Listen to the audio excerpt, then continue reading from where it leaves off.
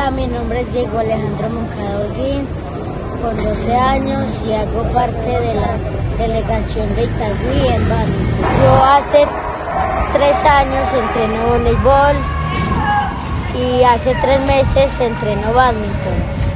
En voleibol ya tengo muchas medallas, tengo seis medallas y en badminton tengo una y hoy voy a ir por la.